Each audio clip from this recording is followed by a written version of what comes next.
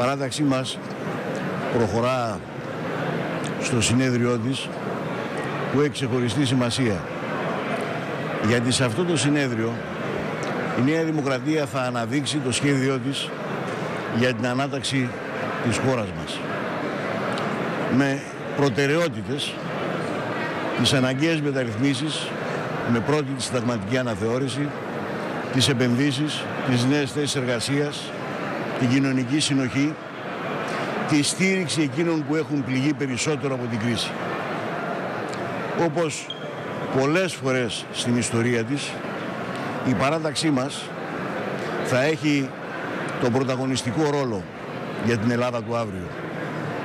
Γι' αυτό και πρέπει να είναι όσο τη δυνατόν πιο ισχυρή. Και αυτό είναι στο χέρι όλων μας.